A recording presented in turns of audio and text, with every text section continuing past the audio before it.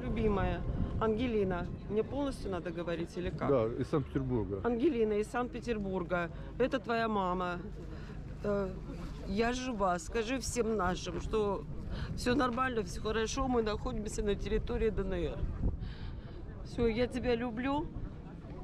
Скоро увидимся. Передайте, что я жив, жива. Это самая частая просьба, с которой обращаются к нашей съемочной группе жители городов, оказавшихся в зоне боестолкновения. Тут не работает сотовая связь, а значит нарушена связь между родными людьми, родственниками. И это оказалось то, что труднее всего пережить. Сейчас, секунду, ничего не соображаю. Ну как она у вас записана-то была? Дочка, Да любимая записана. Любимая, но на у меня, Л. у, На меня, смотрите. у, у меня еще просто ЛЭ. номер стоит, еще ее украинский здесь. Она успела уехать. Да, любимая здесь номер ее, видите, украинский стоит.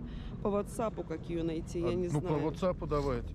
Через социальную сеть мы нашли ее дочь Ангелину и передали адрес безопасного района под Мариуполем, где временно будет находиться ее мама. Елена надеется, что скоро после завершения уличных боев она сможет вернуться в город. Вы себе просто не представляете. Когда сидишь в убежище, понимаете, и у тебя просто стены вот так вот. У нас два трупа в этом. Люди не выдержало сердце. Вот у женщины и у моего соседа. Кстати, сосед мой Супрун Александр Ильич. Сережа, если ты меня вдруг нечаянно увидишь, он в Москве живет, у него сын тоже не знает ничего. Папа 19 числа умер, сердце сдало.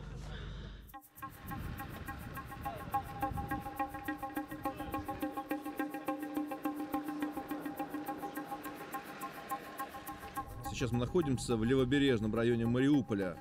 Здесь, хотя и слышны взрывы снарядов, но из-за того, что район прикрыт сопкой, он считается уже безопасным. Здесь собираются люди, чтобы затем выйти по гуманитарному коридору, организованному Донецкой Народной Республикой, в сторону Новоазова, а далее уже на территорию России. Ну вот здесь уже есть э, такая импровизированная доска объявлений, потому что сотовая связь не работает. Люди потеряли друг друга и оставляют вот такие записки. А, Вот, например, Перута, Валентина, идите на дачу, Гена. То есть Гена не может связаться с Валентиной. Ну И дальше разыскивается семья. А, Дубченко, Кирилл. а, 2003 года рождения. Очень много сейчас таких а, потерявшихся. Люди выходят из подвалов под обстрелами, идут пешком, кто-то едет на машине вместе с соседями, друзьями и просто попутчиками. Некоторых на своей броне привозят российские военные. Все идут сюда, пожилых женщин, э, которые старые, с детьми. Всех сюда везем, потому что они очень устали, э, хотят пить. Даем им воду, сухпайки, что у нас есть, по возможности все им отдаем. Перед фильтрационным постом скопилось сотни беженцев.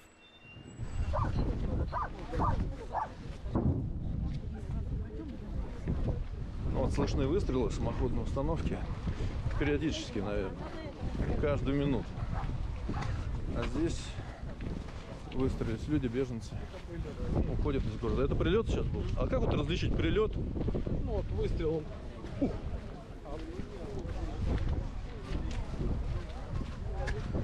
Ну вот под такую канонаду эти люди живут уже здесь почти месяц.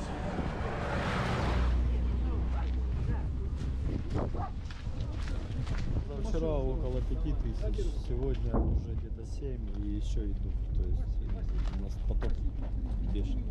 Но здесь есть э, критерии, что вот этих пускаем, этих не пускаем. То есть Нет, всех принимают. мужчина с 18 там, до 60. Это нет. требует просто да, отдельного дос- ну, особого внимания, их проверяем. Но настолько, насколько позволяет, ну, как бы сказать, Ага. Подозрительные лица, Сотрудник фильтрационного пункта говорит, что они проверяют мужчин, брал ли он в последнее время в руки оружие или нет. От отдачи автомата на плече, как правило, остается синяк. смотрим наколки, татуировки, документы, все эти вещи. Ну, личные вещи. То есть синяк вот здесь, это, да. Ну и синяк в том числе. Слышали, информация была, что переодеваются в женскую одежду и пытаются под видом женщины. Ну, на них обращаем пристальное внимание. Мирные жители просят направить сюда больше автобусов и показать их лица, чтобы родные увидели и узнали, что живы, здоровы. 21 день мы сидим в подвале. 21 день в подвале. Ни еды, ни света, ни воды, ничего. Готовили на костре на улице еду, и нам никто не помог, ни кусочка хлеба не дали. А вы на Калугу трое, да? Калуга. А мы 10 человек на Киеве. Ну вы все созвонились уже, кому едете? Ну нет, мы не можем созвониться, у нас же связи нет. Связи нет. Связи нет. Екатерина Полозова, жительница Мариуполя, говорит, что больше не может молчать. Хочет рассказать то, что раньше из-за страха за собственную жизнь говорить боялась. Это ад. Стреляли по нас, по нас. Азов стрелял, Азов. Мы это лично видели. успокойся. Я лично видела. Пусть все знают, пусть весь мир знает. Азов и правый сектор нас убивал. Просто-напросто, тупо, понимаете? Гора, вот э, эта шлаковая гора, Азовсталь. Они оттуда стреляли по частному сектору. Они полностью все уничтожили, полностью. Весь левобережный район, понимаете? Его восстановить нереально. Его нереально восстановить. Вот что говорят жители города о тех, кто называл себя их защитниками. Это фашисты, это фашисты, каратели, понимаете, фашисты так не делали, как эти скоты. Они нас уничтожали. закапывались, жили 8 лет они закопались. Весь город, Все возле э, стадиона окопами, да. все девятиэтажки, все десятиэтажки сожгли. Ну, это одна из тех машин, которая успела вырваться из Мариуполя. Люди специально написали вот эту надпись «Дети», но смотрите, рядом с ней следы от пули. По машинам стреляли, не давая мирным жителям уезжать, прикрываясь ими как живым щитом. Как его? А Мишку как зовут? Антон. Мишка Антон. Довез детей. Украинские власти не организовали эвакуацию из Мариуполя. Выбираться с улиц, где идут бои, жителям пришлось самим, на свой страх и риск. Там же вот так проулки и это самое. Подъедем это самое, раз только глянем на центральную нормально, раз проскочили это самое. Потом до следующего перекрестка доезжаем, опять вышли, посмотрели. И так доехали до Поживановской церкви, это уже к морю, к Сопину туда спускаться. И так спускаемся, тут трупы лежат. Господи, сохрани нас это самое. И тут раз, а тут уже как раз вот въезжаешь с горки, а тут уже стояли это самое ДНР. И встретили нас, говорят, проезжайте, проезжайте. И мы поехали. В лагере МЧС беженцы проходят проверку документов, получают место для ночлега, а многие впервые за долгое время могут пообедать здесь горячим супом. Это суп? Говорят в Киеве, что нам дают воду, мы под защитой, дают нам хлеб, это вранье. Нас просто бросили. Нас просто бросили, и мы никому там не нужны. Мы надеялись просто хотя бы на воду и хлеб. Дети хлеб месяц не, не ели. Я когда сюда пришла, и мне дали хлеб, я, я просто его понюхала, держу в руках. Настолько, настолько ароматный хлеб. У нас снег пошел в Мариуполе. Люди собирали снег для того, чтобы просто потопить снег и попить вот эту воду. Юлия Городникова была сотрудником Центра занятости Мариуполя, помогала людям найти работу. Теперь ей самой нужна помощь. Квартира сгорела, связь с родителями потеряна. Вот мы сейчас уехали, мы, наши родители не знают, что мы здесь. У нас родители все остались в Мариуполе. Мы, уезжая из бомбоубежища, мы ехали к родителям, чтобы остаться у них, потому что у них дом целый, у них по периметру дома подвал. Мы хотели остаться с ними.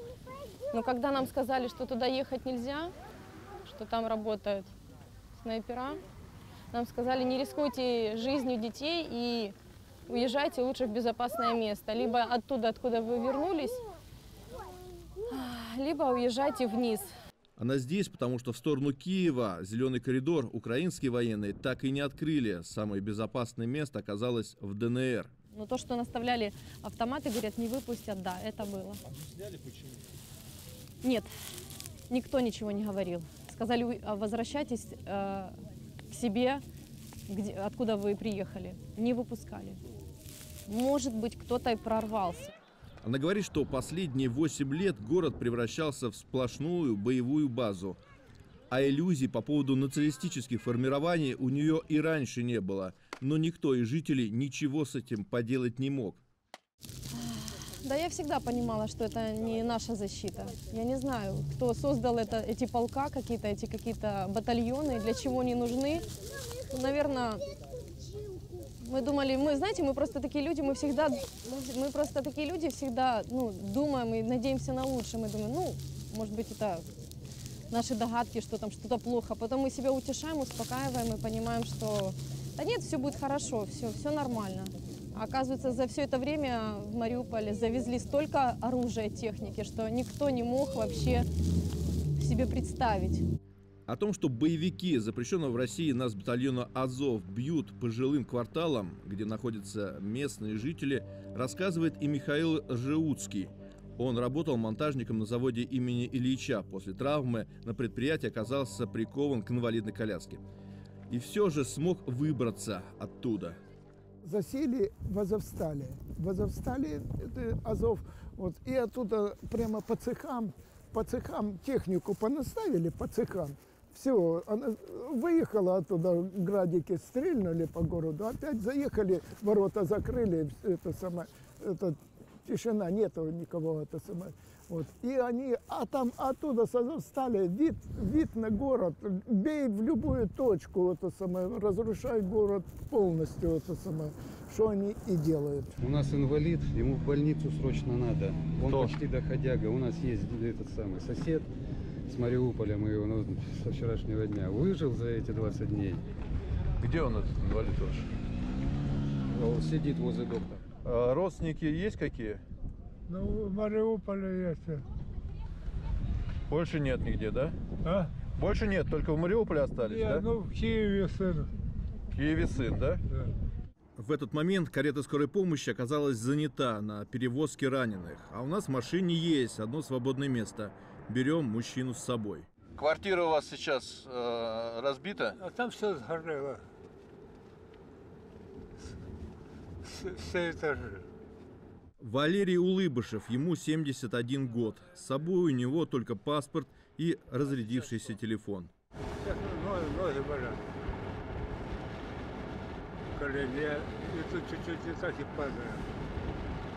Подзаряжаем телефоны и среди контактов находим номер двоюродного брата, который живет в Донецке. 6028. Да. Вчера, говорит Валерий, у брата был день рождения, но в этот раз впервые за долгие годы не смог дозвониться и поздравить. И вот сделает это уже в кругу семьи. Братья не виделись больше 10 лет. Держится нога? А? Стоит еще нога? Держишься, отец? Смелей, смелей, смелей. Давай, давай. Сейчас. Сейчас расходимся. Разойдемся немножко. Оп. Ну что, Ваш? Жив? Жив? Спасибо большое. Давайте. Я как-то могу вас благодарить? Не надо. Удачи вам. Дякую, пойдем. Все нормально, все будет хорошо. Спасибо вам огромное. Давайте. Сергей живет в Донецке, а его отец в небольшом селе под Волновахой. Восемь лет между ними проходила граница линии разграничения. Сейчас фронт перешел дальше, после тяжелых боев Волноваха освобождена. Но вот что с отцом Сергей не знает. Мы едем туда, чтобы восстановить связь родных. На рукаве опознавательный знак. Белые – это определение свой-чужой. У нас белые и красные, там где горячая линия фронта, там красные. У них желтые и синие. На стекле автомобиля тоже.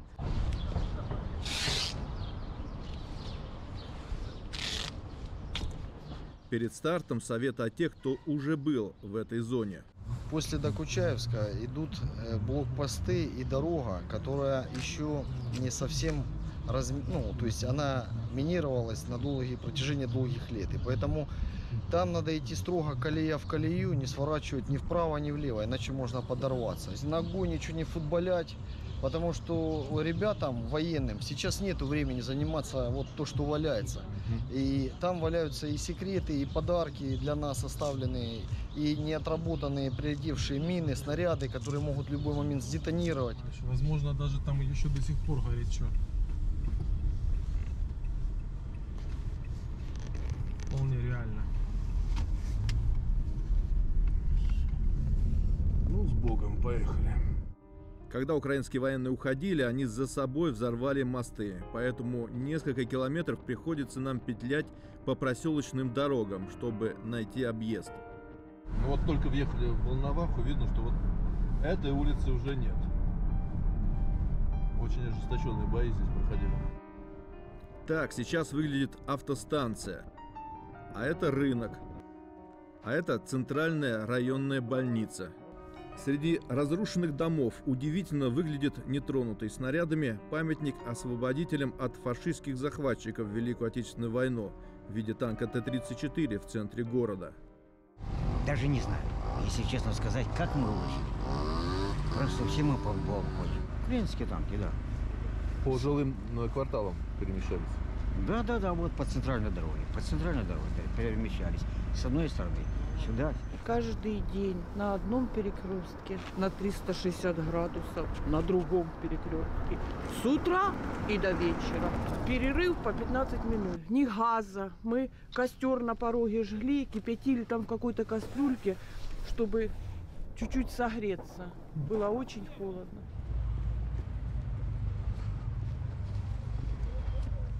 Сергей идет к администрации района спросить, безопасна ли дорога к селу, где живет отец.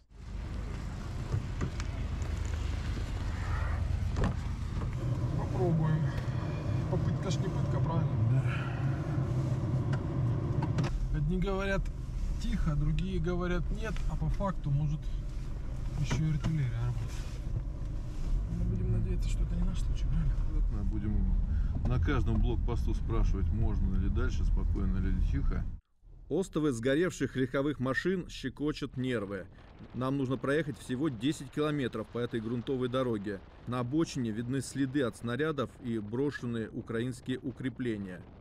Нам категорически не рекомендовали вставать на обочине, особенно заходить в лесополосу, потому что может быть там разное, и мины противопехотные, в том числе ловушки.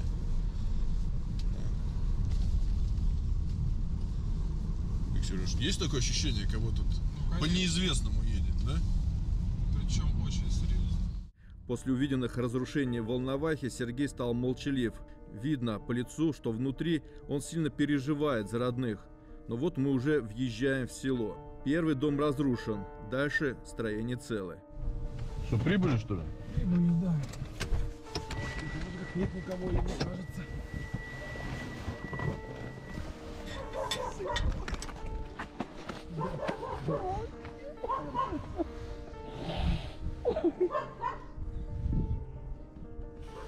Где батя? Живой?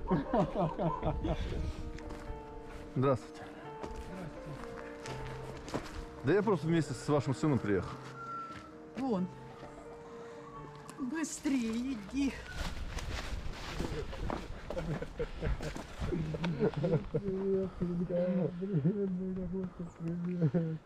Только идем, с тетей Люсей, это как, как жив, значит, что же они там, живы, здоровы? нормально, нормально, живой, слава богу. Дом отца не пострадал, но здесь нет электричества, поэтому включает генератор, нет воды, поэтому нужно помогать соседям. Отец Сергей решил, что больше нужен здесь. А вот тетя собирает вещи, чтобы уехать в Донецк. Так поехали. Так мы же специально приехали за вами. У нас хозяйство ж. Куры ж у нас. Кур, Люсю забирай. Не, Люсю заберем. Да она уже Можете беда. забрать? Нет, смотри. Что, заберем, конечно. Мы думали вообще всех забирать, на самом деле. Да не, ну пока Не, а, слышь, мы будем тут, а что? Чем мы будем? Ну, не, ну если тут, ну, я же не знаю, там ни света, ну, ни воды. Вода есть. Сергей делает очередную попытку уговорить отца, но тот решил все-таки остаться. Просто я планировал переезжать на машину и хотя бы недели на две там туда, в Донецк. Ну, а потом уже прояснится, приехал бы назад. Хай трошки утрясется, и мы приедем. Теперь это село территория ДНР, значит, видеться можно будет чаще. Главное, что посидел с отцом за одним столом, и на душе стало спокойней. Давайте. Давай, это малой уже интересуется. Что там Все, пока, пока, последний раз. Давай. Да нет, ждет каждую минуту. А двоюродную тетю он вернул в родной дом в Донецке. Здесь уже она смогла дозвониться до дочери, которая живет в Новороссийске. Юля, я уже дома. Это... доехали. Доехали, все нормально. Люблю, целую. И когда ты ж не бойся, что я не позвоню сразу, у меня все разряжено. Все, давайте. Давайте, ребята. Давайте, давайте. Пусть вас Бог. Да. Ой, я благодарю. Я буду молиться за вас. Давайте, на связи.